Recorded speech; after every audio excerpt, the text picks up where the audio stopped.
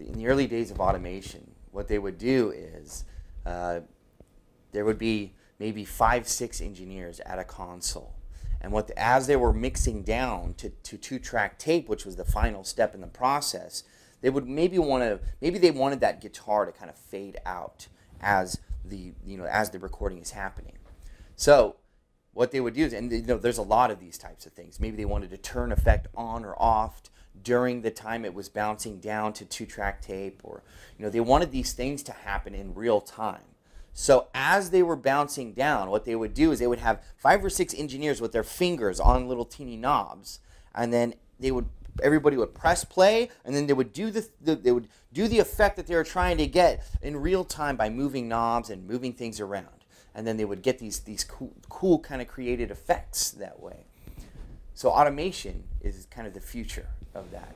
What that allows us to do, and we've had this capability even with analog consoles. Uh, analog, uh, you know, automation is basically motorized faders that you can teach to move a certain way. Within Pro Tools, this process is even easier. Um, you you plot things on a chart on a graph, and basically you're able to do things like this in real time. Our staple is one-on-one in an actual studio. So whereas you'd be theorizing in a classroom, what you're doing is you're working with an artist or producer who's worked with bands that you know, who's worked with hip hop artists that you absolutely love, who's worked with your favorite female vocalist, who's worked with tons of, of professionals in the industry.